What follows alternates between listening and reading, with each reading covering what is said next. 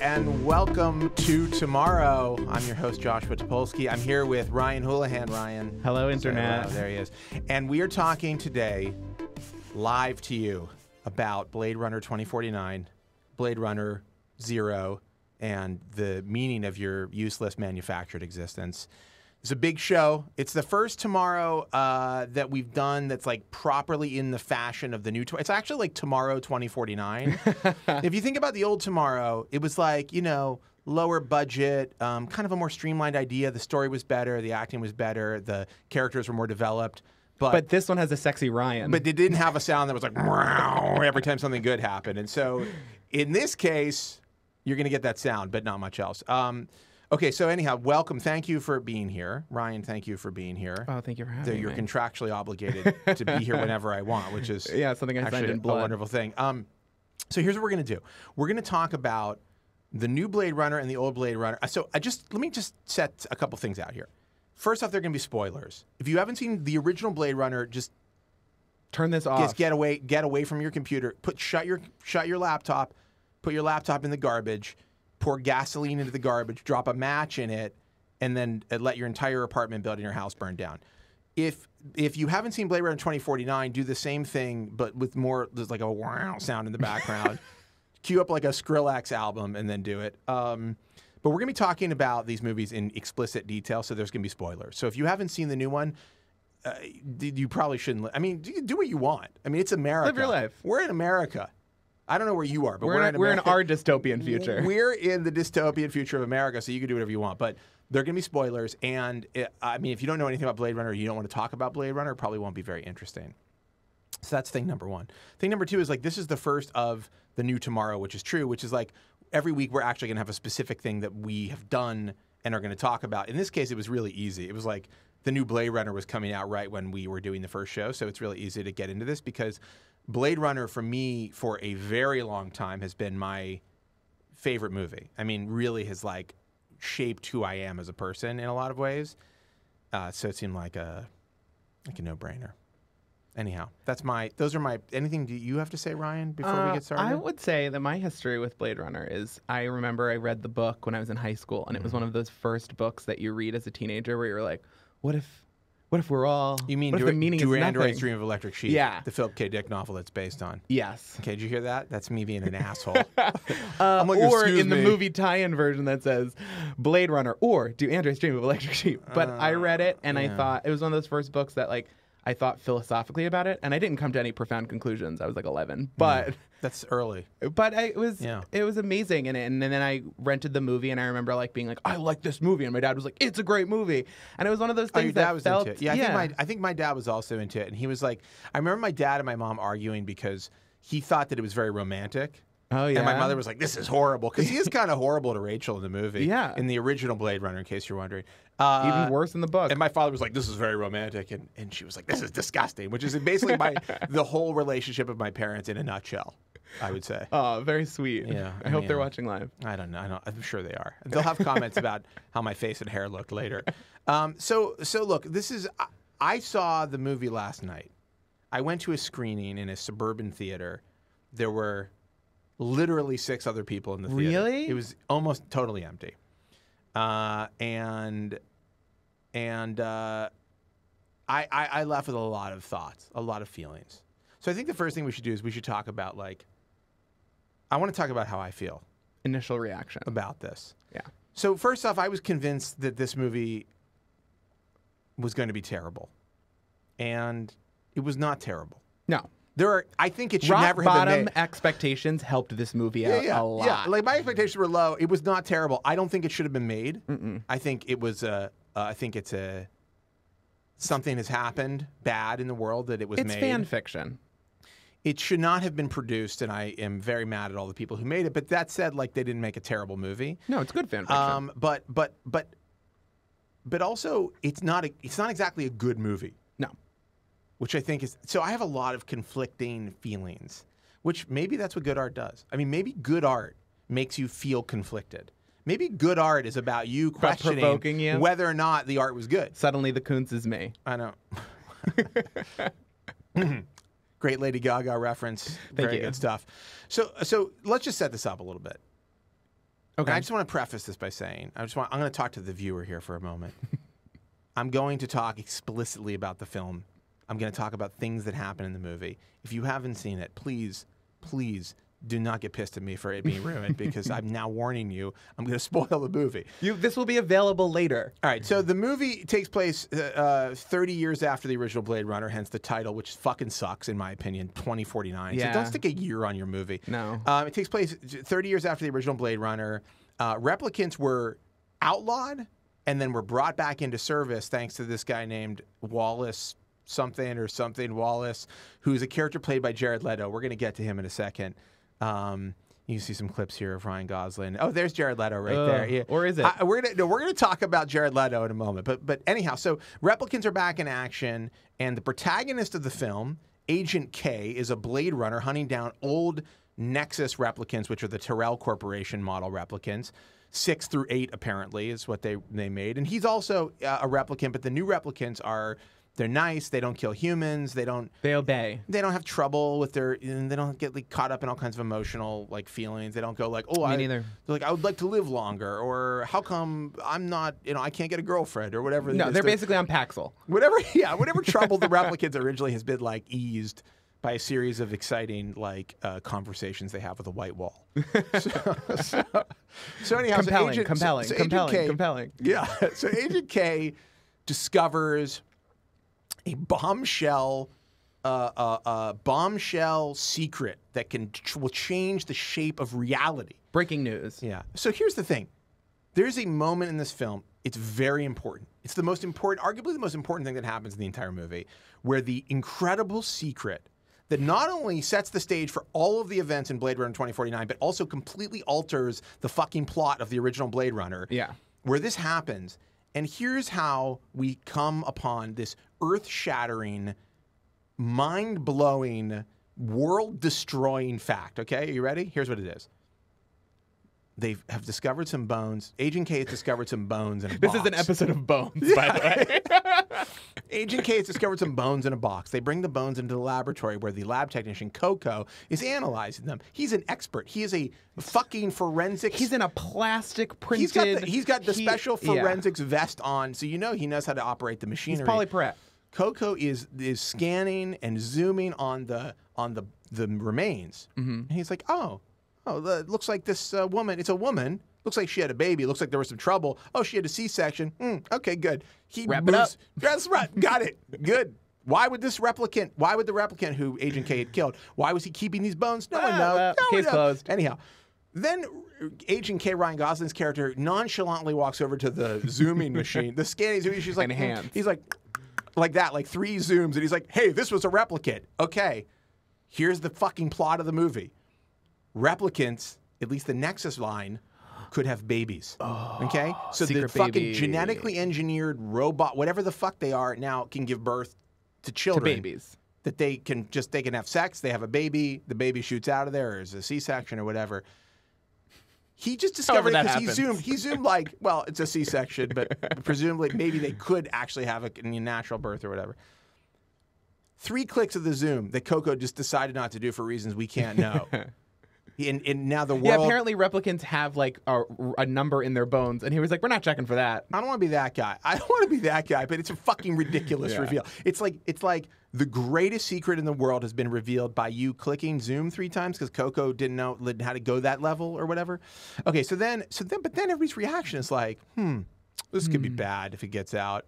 It's not like your brain is broken. It's not like your mind is melting out of your head. you're like, oh, you've God. Lived your, you've lived your whole life. You're a replicant. Two so you- species at you- war. You understand how replicants function. You know they can't have babies. Yeah. You're a human. You're like, well, only human beings have babies. Replicants can't procreate. That's Like, if you found iPhones could make other iPhones, I'd worry. It literally would be like, oh, I put my 3GS and my uh, 4G or what 4S or whatever the fuck. I don't even remember the model. I put them in a drawer last night, and when I woke up, there was like a baby iPhone sitting next to them. But everybody's but just Coco's kinda- just like, look at these iPhones, it's fine. Robin Wright's like, look, we gotta just brush this under the rug. Like, eh. she says a bunch of shit that it seems so like forced. Like, this will break the world. It's like, well, you kept it between you and like two other people, and it didn't seem like a big deal in the in the lab. I would have started crying uncontrollably. I would have been like, I, you know, I've been reading it, the book. Yeah. I don't know if you've heard about it. It's about this clown, Pennywise.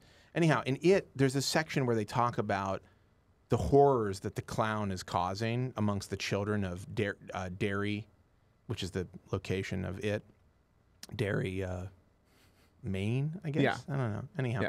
and they and Very one of the characters is like, it's not that these things were scary; it's that they like broke your idea of what was possible and like how the world operated. Yeah. Which is exactly how you'd feel if a replicant suddenly could give birth, which is like a synthetic thing that suddenly can procreate. And Anyhow, and- so like the entire movie hinges on this idea that there's a baby, a replicant baby. And can we just pause and say the second I saw that this was a secret baby movie, I still was like, I'm gonna try to enjoy this. But all secret baby sequels are just tough, tough stuff. Like Cursed Child, all of it's bad, fan fictiony, weird. So the problem is not just like okay, so there's a secret baby, but also, and this is my I will say like, and I will talk a lot about different things that happen in this movie, and we're gonna take your calls also. By the way, you can call in. There's a number 202-688-1697. Please call us with questions, In a bit. comments, eh, whether you're angry, you know. Um, but here's the thing that, that really bothers me. It's that not just that they're like, oh, here the plot is this baby, but it actually forces you to revisit the first movie. Yeah. And it forces you to kind of uh, reevaluate all Like, of what was char- happening the wasn't happening. I mean, they literally say in one out. part, like, "Oh, maybe this is the whole reason you guys met was so you could have this baby." And it's like, I don't want you to fuck with the first movie. Like, No. I don't need the idea of the first movie to be like altered by the second movie, which is a bunch of new ideas that may or may not be good at all. No. And in, in my opinion, they're not. Either they're not that great or they're not that well explored. But that said, I was very conflicted watching this. Here, listen, it's a beautiful movie. It really is stunning. I, I like I liked some of the casting. I really thought like the Joi stuff was interesting in the way that I liked her. I thought this was interesting, like creative. Um, there was moments that I was like, "This is a beautiful moment." The like dream creating sequence or memory creating sequence was great. That was okay.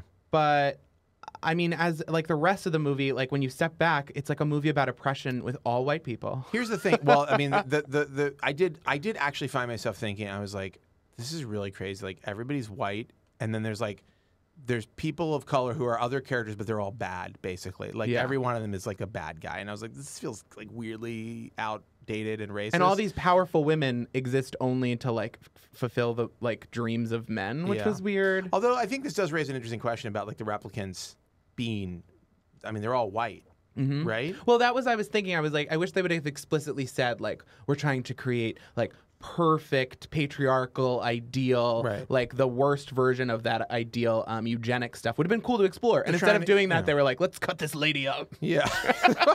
The- okay. I want to. I want to talk about Jared Leto. Okay, so but I mean, I really want to talk about Yeah, the, and then we're gonna get to calls soon. I yeah, promise we're, we're going to get one to calls. minute. But but so um so here's the thing, like there are moments in this film like where I was going like, wow, they really don't make movies like this anymore. Like this is a I thought that is, like, too. it's slow, it's cinematic, Moody, it's, noir. Yeah, it- it's thoughtful. But then it's like, oh, in relief, like in comparison to the Avengers, this movie is very like cerebral. But in comparison to movies that are cerebral, it's actually kind of dumb. Like, Yeah. there's a part there's a lot of parts of it that are like I was like you know, there's a section in the movie where there's like a 10 minute like love making scene. Yeah. And I feel like they thought they had something really special. I feel like the director was like, just let's stay on this. We're just going to stay on this for like 10 minutes straight. It's going to be this like tracking shot.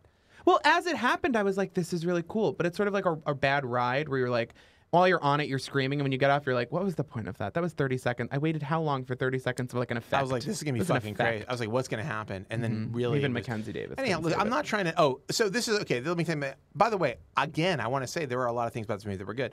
Mackenzie Davis plays a character that's like Pris Light. Yeah. Everybody in this movie is like a version of somebody else, which you know, in some way is clever, but also is actually kind of stupid. It's Yeah. like so Ryan Gosling's Deckard, and then Mackenzie Davis is like kind of a Pris character, Yeah. and then the girl who creates memories is like J.F. Sebastian from Yeah. the first one. And, And there's all Joi this like is supposed to be Rachel, which is this like ideal archetype. yeah, and and and there's all this like mirroring of characters that I It was I very think- Star Wars. Yeah, very Star Wars. Almost like they wanted to reboot it so they could make a bunch of sequels because they thought it'd be gonna be a really successful franchise. Whoever i at what is it, Warner Brothers? Yeah, who was like, this is a slam dunk, a movie about the nature of reality and humanity. A cult movie from the 80s. about an orphan and replicant. Like whoever thought this Listen, I'm, I'm bated breath for the Dark Crystal 2049. That's what I have to say to WB. But the Dark Crystal was a wasn't it like a success, like a hit? I don't know. Was it a hit? Blade Runner was a failure. Yeah, it was. People rejected this film at the box office. They were like, "We're not interested in this." And also, it is there's something weird about this movie that's like total fan service. It's like if you love the original Blade Runner, Yeah. there's a lot here for you. Yeah. If you don't know shit about the original Blade Runner, what is this movie? Yeah, no. It's like- it's well, I saw what it with my, I saw it with my boyfriend, and he several times I was like, like, okay, everybody, cool for a second, spoilers. But when the uh, Rachel shows up, Spoiler alert. I was like verklempt, and he was like, "What are you, what what? I don't know who this is." Like, there's no frame. They don't explain a lot. There's like a shot of her in a picture frame, and You that's know. the only it's explanation Like you get it. you It's like his guy's old girlfriend, the one who had the baby, the replicant baby. Victory rolls. Anyhow, right. so I, I I I will say this: we're going to go to calls now. Yeah, but let's go I I was like extremely emotional after watching this. My first thought was like, it was like somebody had reached into my past and manipulated what was there and ruined it. That was my first thought. It was like So what you're saying is Ghostbusters should be men. it was like seeing those characters as females. no, no, here's my thing with all these reboots and stuff. I don't think it ruins the original for me. The original is still a fantastic film. It- It, just I It doesn't ruin it, but it forces you to ask days, questions about it that are like unnecessary. Yeah, it's true. like it's like you don't need to. I mean, yes, I get it. You're you're continuing the story. mhm. I just feel like they raised points that were really. Like they fucked with the old movie, which you seems have like done un- it. very Yeah. unnecessary. Like Star Wars you could have do- told another story in this universe. the Star Wars reboot. It didn't need to be do a that. family thing. Anyway, let's okay, let's wait, go hold to wait. calls. Before we go to calls, I got to talk about Jared Leto. okay. Okay, I'm sorry. Or Disney's animatronic president's Jared Leto.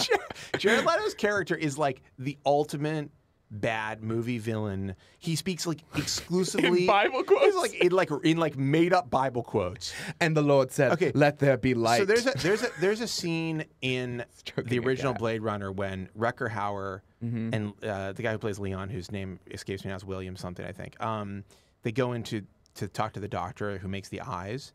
And and and Rutger Hauer says something. I think it's like "Fiery the angels fell, born, burning in the fires of Orc" or something, Mm-hmm. which is like very biblical sounding. It may be from something, also Rutger Hauer was just kind of spat at the mouth. For but lot of Rutger that was also like, "Who's in your apartment?" Like just Yeah. said normal stuff. He was like, he was like, "I want more life, fucker." Originally, but then Yeah. father later.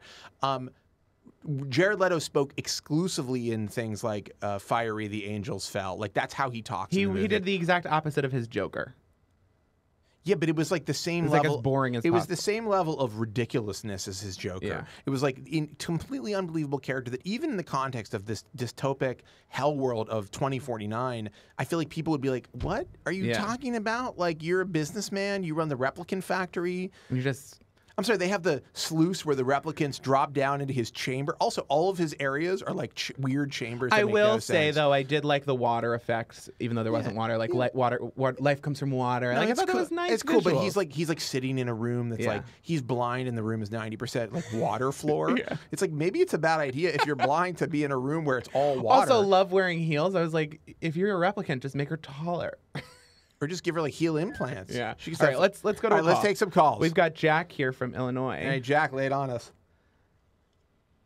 I was wondering what you guys thought of the sequel as far as compared to the original, as far as like the treatment and mistreatment of the female characters. Obviously, this makes the conversation for us to be having, but I'm curious. Yeah. Oh, that's interesting. I mean, you know, obviously there is there is a intensity between the male and female characters in these films. Like like in the first one, I mean, in the first one, the the female characters are are pretty pretty abused. I mean, even Rachel. This is what I was talking about with my parents. Like Rachel, like the love interest and kind of the main second secondary character of the movie is like kind of raped, like kind of like manhandled by Harrison Ford. It's not.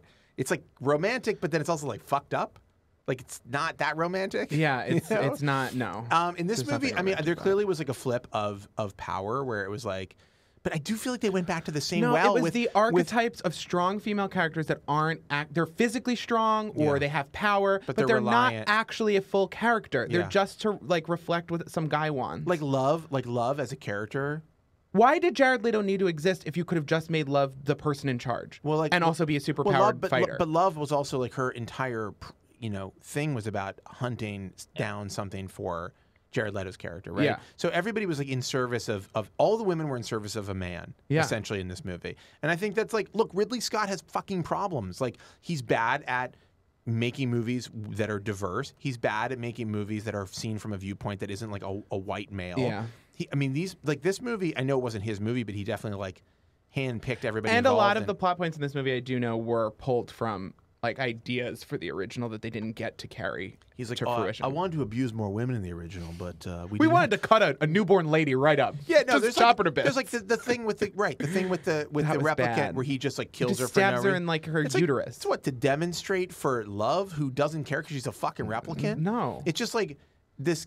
I mean, again, but I will say in keeping But with Jared even Leto's Joi, character, like Joi exists. Her whole thing is like, I exist to tell you whatever you want. And then they tried to develop her where they're like, she's got some kind of, she wants to be a real girl. She's a. Pinocchio story. But but then at that the end, they're so- like, no, that- it was advertising. But that felt so empty because it was like you knew that she was like a manufactured Mm-hmm. product that was meant to serve this purpose. Like you see very early on, she's like a 1950s housewife. I actually think that's like a good reflection of Ridley Scott's Yeah. idea of the women in the movie. Is like they're all like there to support and prop up and like move forward. Them they actually are like manic pixie dream girls. a, a Joi absolutely. I mean, like Pris, the original Pris Yeah. concept is like kind of a manic pixie dream girl. It's like Yeah. JF Sebastian is a fucking gamer. She's doing Look, backflips. JF Sebastian's like a Gamergate guy. Yeah. And like she's like the girl who's like saves him, like this kind of like fantasy anime girl, essentially. Yeah. She actually is like the basis for a lot of anime characters. So maybe there's like sorry, Jack, I know you're still on the line, but we're rambling crazily. Uh-huh. What was your take on it? I mean, what did, what was your thought on it?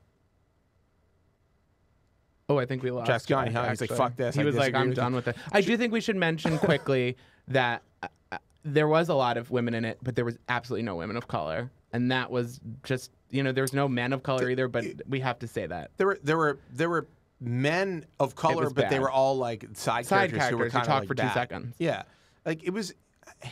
It actually stood out to me. Like it was distracting. well, they gave a speech about slavery.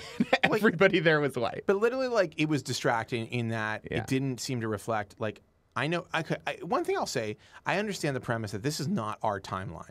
Like this is 2019 wasn't like 20. It's not going to be like 2019 in this movie. And well, maybe if Trump keeps at it, I mean, mm, it might end up that way. But like, I understand that this is its own thing. hmm But it still felt like I was watching it going like, I don't know, there's just so many white people. Yeah, this It is feels like it'd be more diverse relic. based on what I know of America right well, now. it was their chance to really make the franchise into.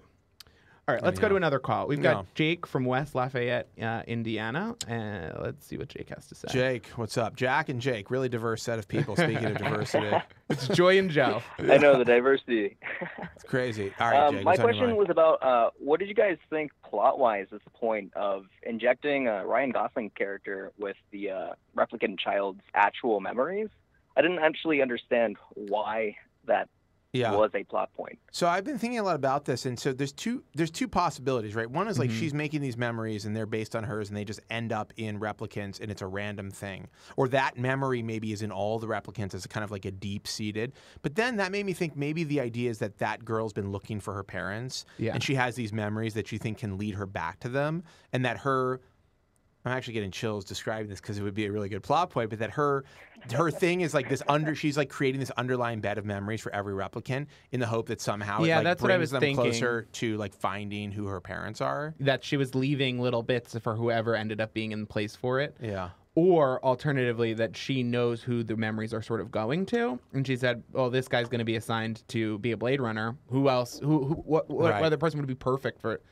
Or sorry, I didn't mean to stop you. I No, was go just- for I it. was- Or Ryan Gosling is actually the kid Yeah, and it's not the girl. it's twist twist. She's a replicant and he's out there dying as the actual human who was the child of the replicant. Thanks for dying. I But on the flip side, if you're thinking purely about sequels, now you've got a re- another No. replicant baby who presumably would be capable of reproducing. The sequel should be a Taken film where the daughter gets taken and Harrison Ford, Ford rips up Los Angeles. I, I gotta say, back. I gotta say, Jake, I don't know how you felt about felt about this, but Deckard lived at the end of the movie.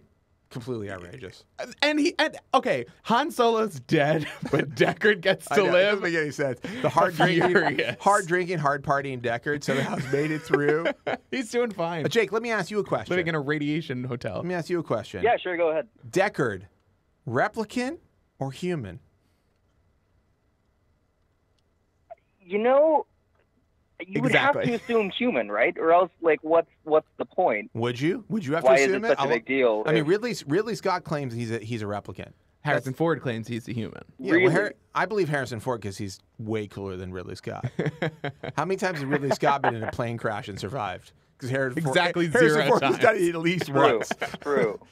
Anyhow, Jake, that's interesting. I think that's a really that's a very good question to ponder. I, I was thinking a lot about like what were the reasons these yeah, memories existed. you actually said something that kind of stoked me a little bit, which was if her memories actually were infectious somehow and getting the replicants to believe that they could be more human-like or something like Yeah. that, that Well, would be a good plot point well, as well. they- except that wasn't explicit like at all. But they do. But the, the leader of the revolution, which also was one of the worst subplots of all time, which is like we're gonna The there's gonna be a- resistance. there's gonna be a revolution. It's like take Yeah, it she easy. had like three minutes of screen on time. yeah, it's like the, No the, big the, deal. the three minutes of screen time is like there's a revolution coming. It's like is there? It feels like Wallace kind of controls. Seems like you guys just got some matching outfits. But uh, she said like, oh, we all have that dream that we're the one, which maybe Yeah. suggests that that particular memory about the horse It's given to all of them. But then you think the replicants would be like, oh, you've got the horse memory. Oh. Like, Yeah. What the fuck's up with that? We're all talking about this horse. Yeah, like we're all obsessed with the horse. all right. Well, thank you, Jake. Anyhow, that's good. Jake, thank you very much. Speaking of who and who isn't a replicant, Brad in Vancouver has some theories. Okay, Brad, lay it Let's on us. see what Brad has to say. Hey, how you doing? Good. How are you? Good. Uh, yeah, I have a. There's a part in the second movie where I forget which two characters, but they're talking about a replicant um, from the olden days, and they say like he's very easy to, uh, very hard to identify. Where all the replicants in the new 2049 are like immediately identifiable by Mhm. some way. And I wanted to know if you guys had any theories. Well, I, I have my own theory, but did you guys catch that line? Do you know what I'm talking about? I, so I don't actually know. I don't remember what you're talking about. Like I do know that it's interesting that in the with the new replicants, apparently their serial numbers in the eye, which is good. It's like better idea than Yeah. Like the Voight-Kampff thing. When you think about it, actually, it's weird. They were like, we're going to make these replicants completely impossible to identify unless you do this crazy like mental test on them for an hour. Yeah, you could have just like put an like a, a just like an a Apple thing on logo. their arm. I don't want to be like all concentration camp or whatever, but you could have put a serial number on their arm. I mean, they're a fucking replicant. yeah. Okay. Anyhow, so no. To, it, what? So what scene was this? Um, I forget exactly. I, I wanted to do a rewatch to nail down the details, but I don't come actually on, Brad. remember. There's a scene where they, that if you watch it again, sorry. Nothing. I was just giving you shit for not remembering exactly what scene. yeah, no, that's fine. Um, and I have a theory that basically, when every two characters interact, if it's a human character and a human character, they do like a slight smile before, and the replicants are just not allowed to smile whatsoever, and that's how they're told to part. Like replicants will just never smile, and that's why they picked Ryan Gosling because they're basically like, let's find an actor that can do very few words and never have any facial emotion, and they just said, a lot of "Let's get that guy smizing. yeah, yeah. I don't know. I feel like I saw Ryan Gosling. I don't know, Brad. That's an interesting question. Um, I I feel like I saw Ryan Gosling smile. Sounds like Brad's getting arrested. I don't I know. don't know. What's going on? What's going looking like on? midway Wait. through the movie. Wait, where are you right now, and what's happening with this police sirens that we're hearing? Oh, I'm in Vancouver, which, as you know, is the crime district It's of the hell world. world. It's a Oh. hell world. Yeah, no. We don't know anything Sorry, about my that. window Well, listen, Brad- that- Brad- on that directional microphone. Brad, stay safe out there, okay? And and uh, you know, remember your. I don't know what the rights are in Canada. Actually, I think they put you in solitary immediately. So, you know, good luck. Thanks, Brad. Anyhow, so I mean, there are. Here's the thing about this movie. You know, A.O. Scott. Uh, I read the A.O. Scott review for the New York Times, Mm-hmm.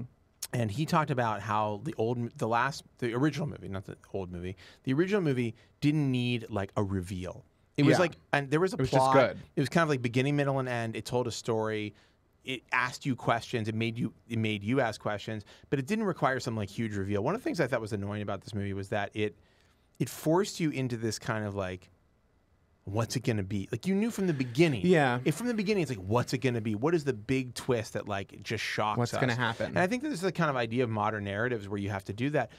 Like emotionally, emotionally, this film was very evocative because it really it it, it pulled the right kind of levers. Yeah. But in terms of when I think back on the storyline, it feels much more forced than the original. You know, the Well- original is very very cut and dry. I know that when they made the original, and this is going to sound insane, but I did read this that that essentially the screenwriter and and Ridley Scott hadn't really read the original book. Mm-hmm. They had gotten the plot points and basically the general idea, and then they created their own moody emotional thing in the way that the book was moody and emotional. Yeah. But they were genuine. Whereas I think this, it's someone that read the book, saw the graphic, read the graphic novel, saw the movie a thousand times, and then had a Yeah. very clear thing, as opposed to some ambiguity. They had a very clear statement to make, which is sometimes feels clunkier. I will say this: like I remember reading um, Do Androids Dream of Electric, Electric Sheep after I saw Blade Runner, and I was like, "Oh, this is nothing like the movie."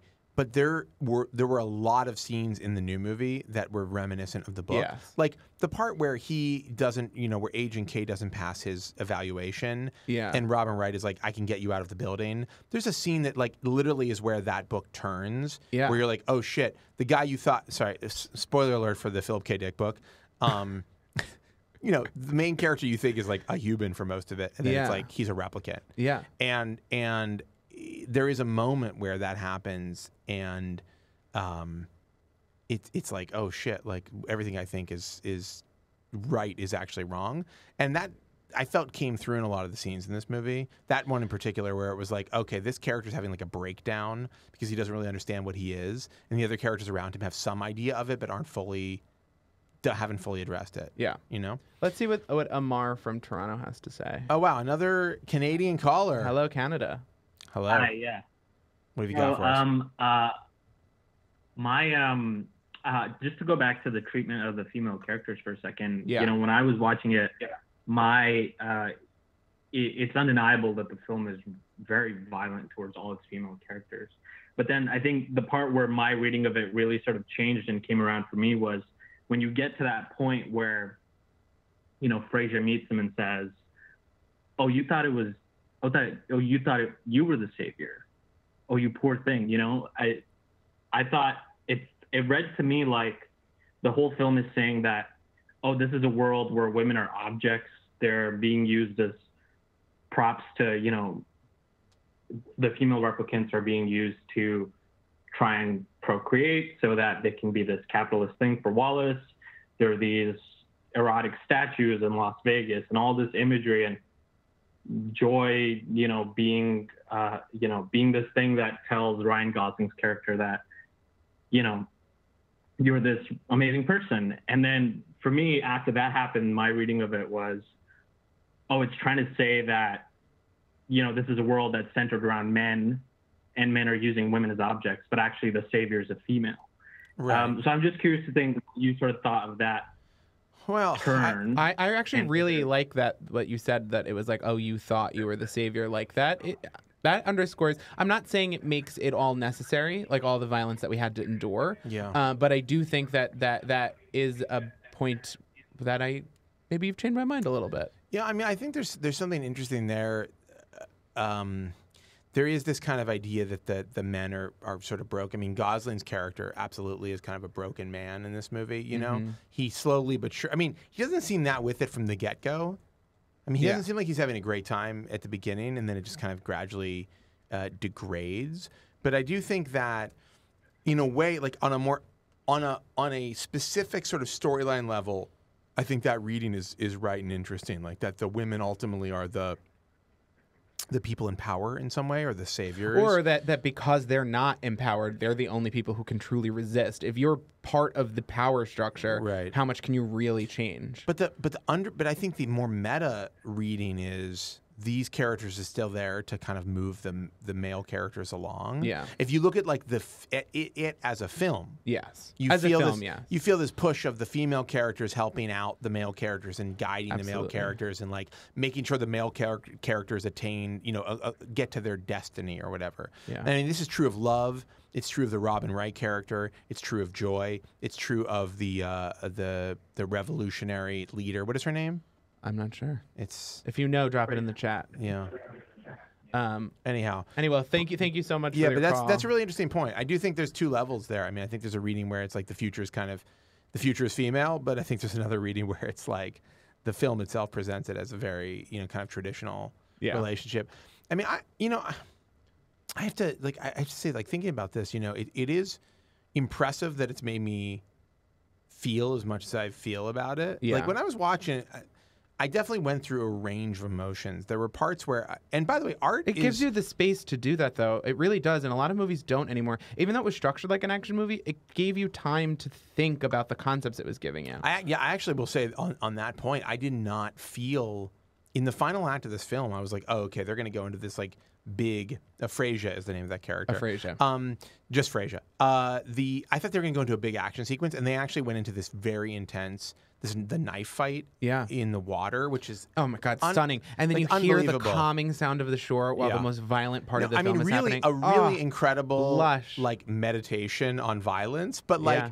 but but it never gets to this big action sequence, which Yeah. I was very pleased. With. It never with. turns Minority Report on you. It's not really an action movie. No, it's not. Like I'm not sure that I would describe this as an action movie. I mean, there certainly are moments of action, yeah. but it's not like it's not Mad Max. Uh, Speaking of um, filmmaking, uh, Mike in LA wants to call in and talk Oh, about uh, wow. sound design and visuals. What are your okay, thoughts, Mike? bring it on. Hey guys. Hey Joshua. Hey, how are you? Big fan for a long time.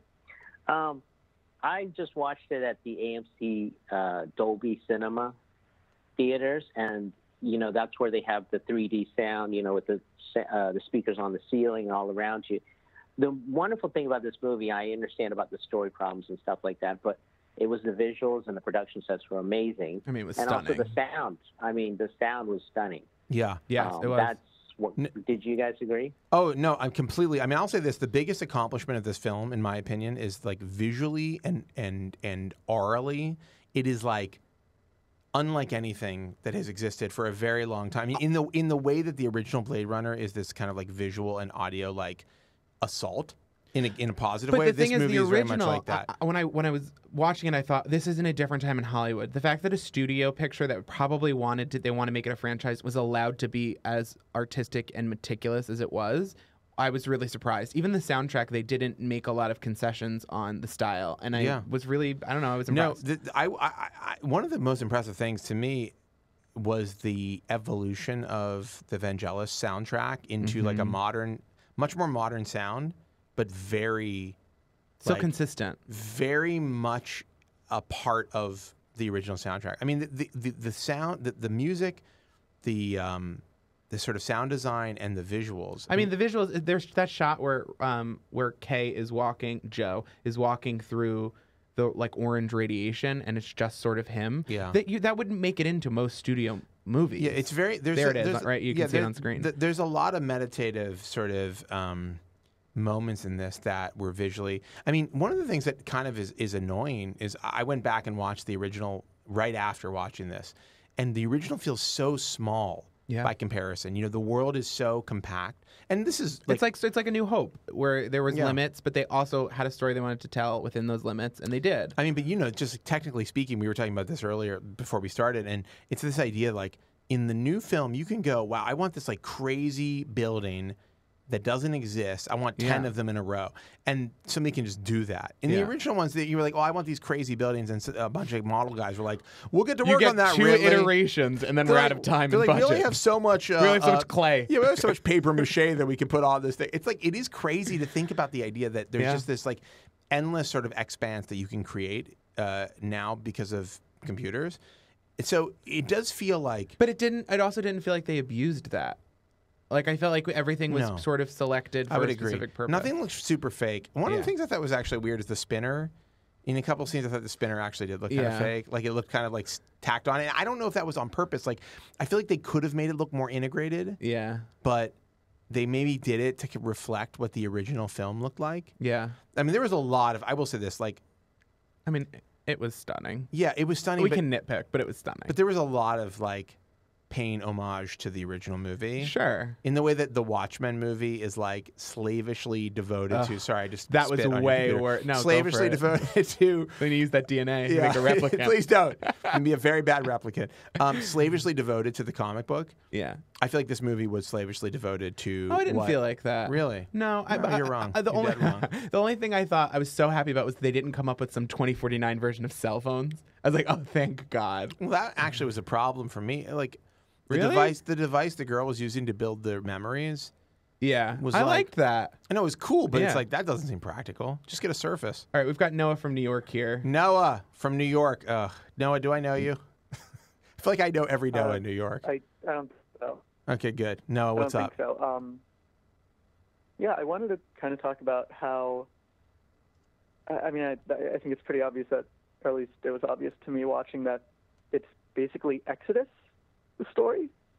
That you have this villain who lives in a pyramid who wants to use this uh, these people to conquer the world and build his monuments. Uh, but he has to find a missing baby first, who's the promised one to Oh lead them out. shit! Wow. And Shit, Noah. This makes Yeah. this this makes the movie seem a lot worse now that you're raising this. This is like classic Ridley Scott. He's so obsessed with the Bible. Yeah. He's so obsessed with it. wow. yeah, Huh, wow, that's interesting. I actually Um, like that. but Yeah. also, So the baby's Moses? uh, no, who's the baby in well, the Exodus? baby's Moses, but I think right. Yeah. it's, yeah, it was Moses Yeah. who was sent down the river and Sure. hidden away from Pharaoh. Um, Classic, classic story. But I think what's interesting is how the the movie also kind of reclaims that divine power for the women at the end. Like it's weird from the film language, the the man is the subject, Ryan Gosling is the subject of the film, but Mhm. metatextually he's just a tool being used by the who leads the resistance in order to find the daughter. So Yeah. Is it- he? It's, it's, I mean, I guess like a I, weird. I, I feel I like mean, here you can say from a story perspective that that that that that is Yeah. true that he is the device for her, but also the only character whose inner life we truly explore is his. right. It's So- from a, it's from the man's From a of view. utilitarian perspective, he's still the main character. Like Yeah. it's he's still the most important also- thing. like when I think it's also going to be like when you say from his perspective because his perspective was also made by a it was made by the I forget her name but who becomes the daughter who eventually Yeah. is revealed to be the daughter.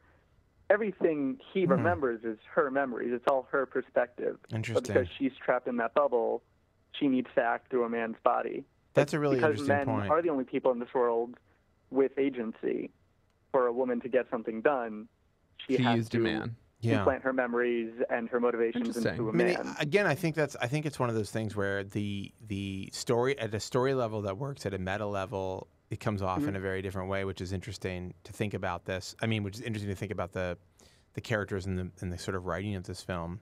I also think Mm-hmm. like um, I think there's like a little bit of biting off more than one can chew. There was a lot. in this in this, in this film, you know, where it was like there's a. I mean, what you're talking. incredibly ambitious. Yeah, I mean, I mean, no, what you're talking about is definitely there. and I'd rather ambition than no ambition. Right, but it's Let's almost like if, we could have just moved aside some of these subplots and sort of Yeah. plot, like the romance between him and Joi. Joi, that was should have been another movie. The- the- Jared Leto could have been cut. You could have really streamlined. I mean, this Jared whole Leto thing. was insignificant. I mean, ultimately, It's just annoying. Just we didn't need it. It just it was a mm, distraction I mean, for the entire his movie. like quasi Bible talk. Who talks like that? Jared Even Leto. I bet he does in 2049. real life. No, that's the thing. In real life, that's Jared Leto. It's fucking Jordan Catalano, just spewing some bullshit. on Letterman. Anyhow. All right, Anyhow, well, thank no, you for your thank- call, thank you Noah. for that. That was really very good. insightful. So I don't know how many more.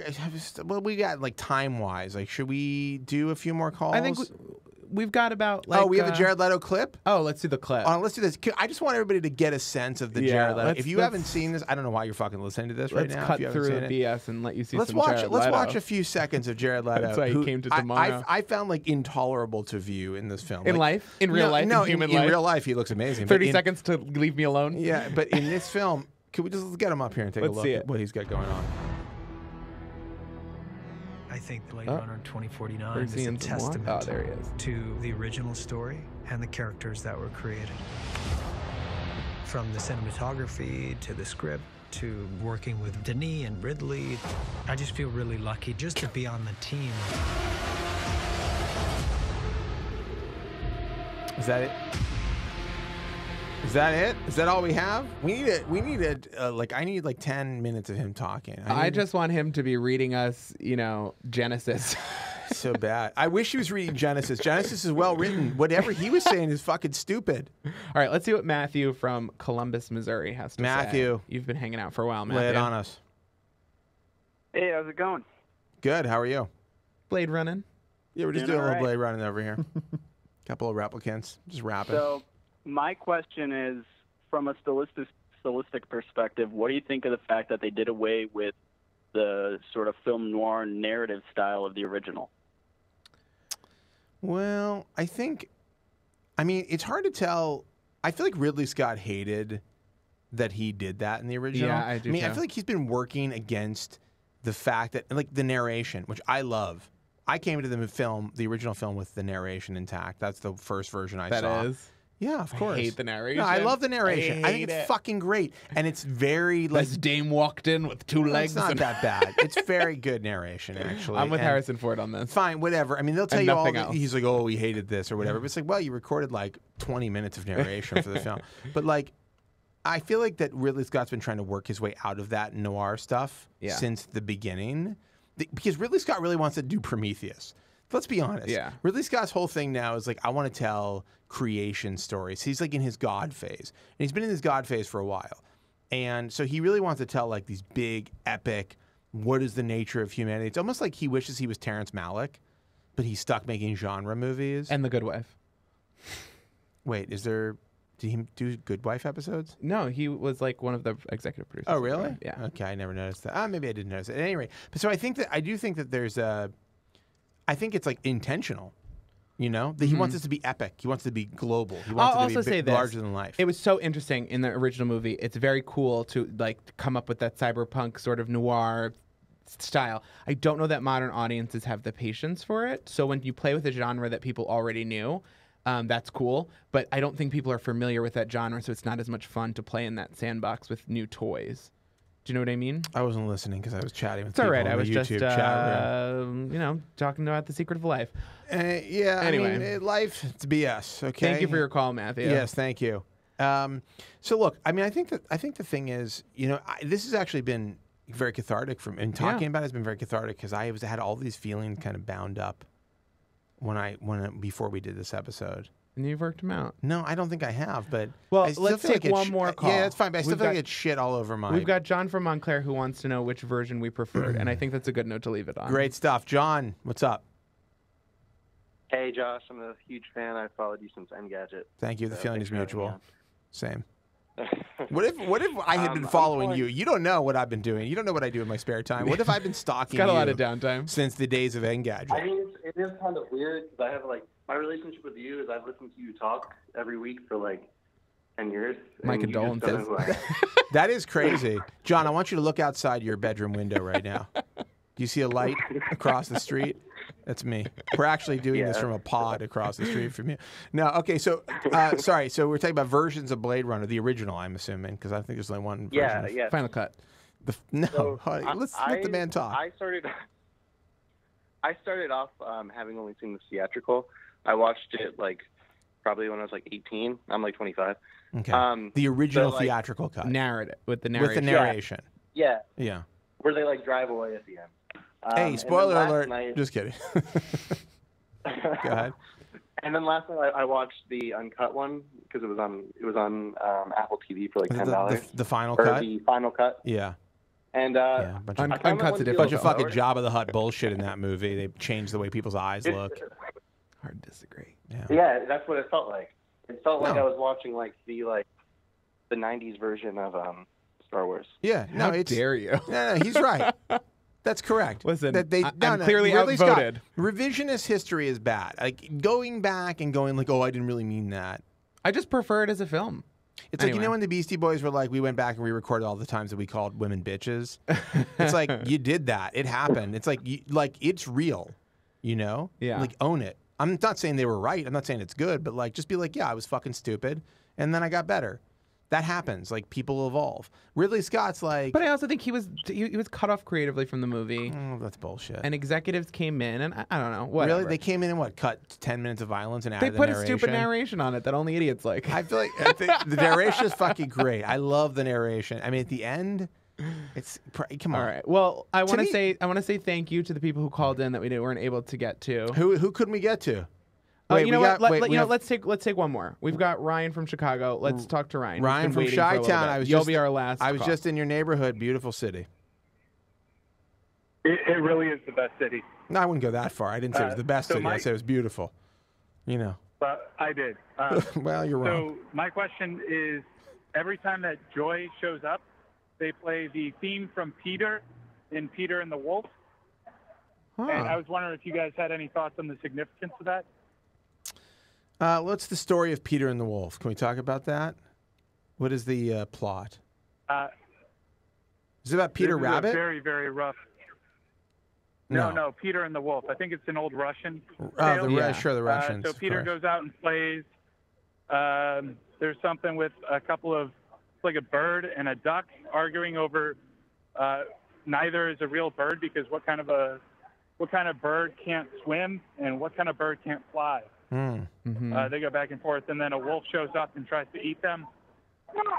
I forget how it ends. Yeah, that sounds. That's, Uh, but it's always it's always used in the context of Joi. Well, I think probably the question And so there is, I- is is Joi real?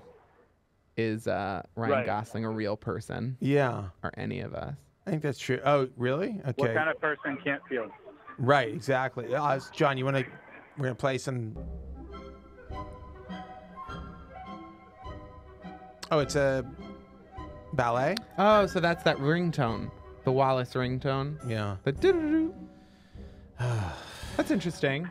And it's an interesting observation that I wouldn't have. I think uh, it's interesting that that the character's reading Pale Fire by Nabokov, and uh, he's interested in music from the '60s. And I mean, th- think Yeah. about think about some of the references in this film. It's very much like Ridley Scott. Yeah. it's like, you know, some Russian ballet and uh, you know, Pale Fire and Well, thematically, Elvis. thematically, I think what you're supposed to ask is, it does like Joi, is Joi, does Joi have Kay's best interest at heart, or is Joi just sort of reflecting whatever she was programmed to reflect in himself? I think that's last the last one. And What do do any of us do that in relationships? Here's a, here's a question for you. That's a question. Here's a question, and maybe Ryan, you can answer this. Any Ryan can answer this, but uh, you know, the the replicants. Mm-hmm. What are they? Repli- I think they're um, bio like engineered uh, people. So I think they're they're it's it's an it's an organic, but so they're, they're completely organic. 3D printed organic. So they're like, uh, and they've changed some stuff in the genes, like their corn or like that uh, that uh, rice they grow in India. That they've genetically engineered it to be superior in some ways. compare comparatively to a Westworld robot. hmm There's less um, uh, plug and play ports. Like you can't you can't in the movies. Like in the, the book, no, no, in the book, they're robots. But in the but the reason why they need the Voight Voight-Kampff test is because they can't like plug something into them. No, until I think when you they're- cut through, you could find some stuff, bone marrow tests and stuff, Right, you can see some like manufacturing bits and bobs. Right, but they're not mechanical. No, I think they're not you're talking about a meaty. They're not digital. No. Right. They don't get they don't No. get recharged. I mean, Westworld, like, could it go through a metal detector? Westworld robots, I think Right. they could not. They cannot. But uh, but these replicants, they're passing right through security. They're, they got they're basically humans, They got clear. but they have serial numbers. Pre-check. and they have they're set to expire. Yeah, like They- all meat. But they can't be controlled. I think their brains are printed in a way that you can tell them Mm-hmm. stuff. They've been programmed, brainwashed. Okay, so that brings me back to this original to my original beef, which is this the child, the secret child. Like Yeah.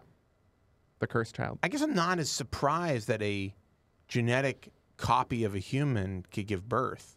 It's a it has all the parts, I think the right? thing is that they did so many edits that Yeah. it's sort of like when you uh, have a mule, it can't like the genetics are so effed up that you're at a certain point Yeah. where it's not really viable. You know, when you think about it, the real star of this movie was Tyrell. You know, the Hmm. original, the creator of the replicants, who who embedded the greatest secret of all, that they could get knocked up. I think I think the real star of this movie was the dog, who was my favorite character. The dog is it dog real? that drinks whiskey, basically me. That was the, the only dog. the only legitimate laugh in the film was when he pours out the whiskey. In- incredible. And you know Harrison Ford just did that.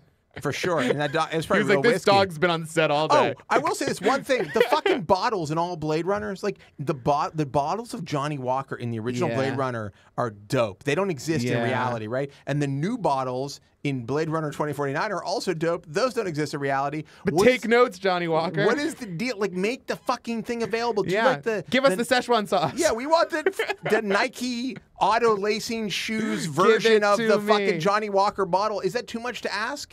Is it? We should have it here right now. Why aren't we drinking the 2049 Johnnie Walker Black? Why? Okay, Um, anyhow. uh, anyhow, let's talk about What? Blade Runner's been good. Yeah. What's going on next week? I don't know. What are we doing? We Uh, need to know. we Do we need have to- suggestions from the ju- listeners? yeah, let's- okay, here if it is. you're All in the right, chat- speed speed round. Speed round. What should we do? What should we do this week that we're going to talk about next week? Weird diets, things Should we, can watch. Yeah, Places to go. Yeah, I don't have not not a anything- major time commitment. No, it's fine. Nothing that's a major time commitment. I'm very busy, but something that is retainable. We're not going on a retreat. Like we're not gonna get, and we're not gonna go to like a sex dungeon. No. I mean, I mean, maybe- I will, would but we're to not a gonna se- review I would go it. to a sex dungeon. I mean, that would be kind of fun. I mean, I'm gonna go, but Well, we're not gonna talk about it. no, come on. Uh, so like sex dungeon, race car driving. You know, Get a Siri girlfriend I'm that not lives gonna in a yeah, stick. Siri girlfriend. I'm not gonna jump out of any planes. no, I'm not gonna go. But if into you're watching this live, post in the chat something we could do. Yeah, I mean, come on, People guys. want album reviews. album reviews. We need something more ambitious. I'm only reviewing Lady Gaga. Wait, wait. Somebody said that Johnnie Walker is, is going to do the bottle. Thomas Perez. Are you serious? What, I think he's lying. He's just fucking with us. All right, you, here's a If chance. that's true, we if you will want, call us right air. now 202 688 1697. You With got some suggestions. You got five minutes tops to come up with a really fucking good idea for the next episode. If not, If not, what are we doing? We're I'm threatening that we're gonna either do Fast and the Furious or All eight? only drink? Soylent. Those are the two options. I'm not doing Soylent. I'm not doing it. I um, won't. I won't Well, then it. hope someone calls in because those I are your a, I'm on a very strict diet right now. of Soylent. No, of food, but it's very strict. Oh, I'm dieting Oh, like a only maniac. eating food. No, I'm dieting like a maniac right now. I need to. It's fucking I need amazing. to. There's something I'm gonna be on exquisite. camera like this? Hunger is truly exquisite. Okay. Exquisite pain. No, the greatest luxury in life is to be hungry. I mean, if you're not actually hungry because you need to eat, like Mm-hmm. it's like to just go like I'm not going to eat. It's an unbelievable luxury and also a torture. it's an exquisite, You're you're talking you're talking philosophy from the 90s. luxurious fashion in the torture. 90s. That's exactly right. People are saying this battle's happening. no, wait, Yeah, no, what? we're getting- Hold on, I'm clicking on this link right now. We got to recopy it and take this the is, data. This is huge. This is huge. Oh my god. If We got some Johnnie Walker in here. Oh, there it is.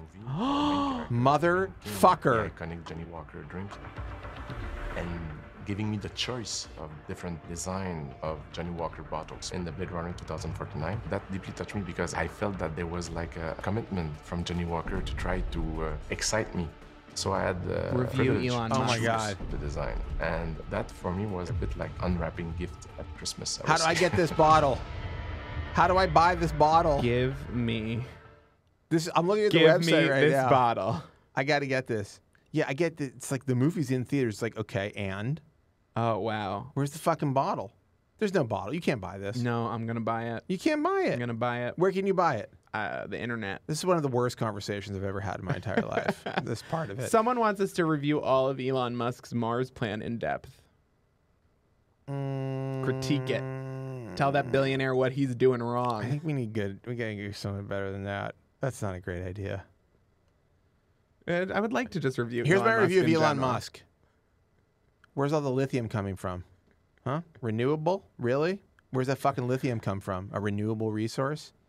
Anyhow, you can read more about that. on Here's my outline, review so- of Elon Musk. A lot of people could have done that with a bill with PayPal money. I disagree. The guy's a great genius, but Uh. let's see him get PR back online. Let's see right, him yeah, true. retrofit all of True. Puerto Rico. yeah. Before we go to Mars, can we go to Puerto Rico? Seriously.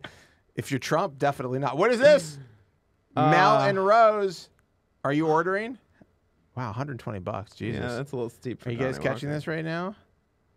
Wow. Look at this. Look at this. Look at this. Oh, we're going right in. You're good. That's good. That's great. We get to the login right on. Okay, so there's no ideas for the show. I mean, are we You gonna guys Fast have- and Furious? I Nobody's guess we're got doing, any I guess we're gonna do ideas? fast. Don't do that. Why are you doing that? are you signing me up? What a nightmare. What a true nightmare. Anyhow, all right. Uh, I think we got to wrap up. I'm All gonna, right. I'm gonna respond to Roman here, who's uh, look. I've been. I'm right. I got a new thing coming. It's gonna blow your mind. You're right. You're a little little patoot off. I'm right, right my ass off right now on some provocative technology related topics. Um, You take that iPhone X and you know what to do with it. This guy's like Amazon Germany has it. It's like, dude, I don't live in Berlin. You know, Yet, maybe they'll review that. Berlin. What's it like to live? All right. Well, if Yeah. you've got suggestions for what we can review, I want us to use the Palm Pre exclusively for two weeks. Oh, this is Ryan. Two weeks is too long. A week. A Wait, week. When is the next show? Two weeks. What's the date? I don't, nobody here does math. Give me the date. Twenty third. The 23rd of October. Mm-hmm. Thanks, fantastic. Right on the cusp between Libra and Scorpio. A very no Libra and Sagittarius. Good people to date, bad No, people to date. Libra and Sagittarius or Libra and Scorpio? Scorpio. Scorpio. That's a fucking Good people That's to a hell date, world. bad people You to get date, somebody on the bad people third. to have sex with, good people to have sex with. Both great at sex. One crazy. Crazy One- as hell. One crazy, sexy, cool. um. Anyhow, Let's do Palm Pre. I a don't week wanna- of only using the Palm week. I'll do a week of Palm yes, this is my dream. Wait, my birthday's on the nineteenth. or the sidekick too. My birthday's on the nineteenth, so as a present to myself. We're gonna Palm Pre it up. Can we use like a Palm Pre two? Yeah, sure. I mean, the thing. Something from the pre-line or the um, is WebOS the line. nerdy. It's so nerdy. That's All what right. we're doing. So All right, we got to wrap up. we'll see you next week on the WebOS Guys, this special. is great. Thank you for joining us uh, on this this experiment. Um, the important thing is, I think we got to vent. Re- Welcome to tomorrow 2049. This is tomorrow 2049. You know where where you think the guys are in charge, but actually the ladies are in charge, or maybe they're not. Maybe the ladies are just there to help the guys. It's unclear. But the important thing is this the, is the crazy, sexy, cool Ryan. That's the most important addition. it's like the dog. It's like Harrison Ford's dog. Drinking whiskey. Nobody knows if it's real. Yeah, exactly. is he real? Is he drinking whiskey? That's the important thing. Nobody thing. knows. Anyhow, so we'll be back next, uh, not next week, but in two, Two weeks, weeks. with more tomorrow. And apparently now, unless you guys come up with something better, we'll probably put a poll up on Twitter. Yeah. And figure out what We'll we're gonna announce do. it on Twitter. So follow Josh right at now- Josh Topol- Joshua Topolsky Joshua at Joshua Topolsky. and follow me at Ryan Houlihan. And probably it's going to be we're going to use the Palm Pre for a week. Oh, I'm so excited. Why are you excited? Because I loved WebOS and I love the idea of having one in my pocket and, and I love the idea of on the subway people looking at me using it. It's true. You're not going to use it on the subway because Oh. you can't connect anything there. Anyhow, that's our show for this week. We'll be back next week, and or sorry, two weeks. And as always, we wish you and your family the very best. Though, turns out your family are all replicants, and none of them can have babies.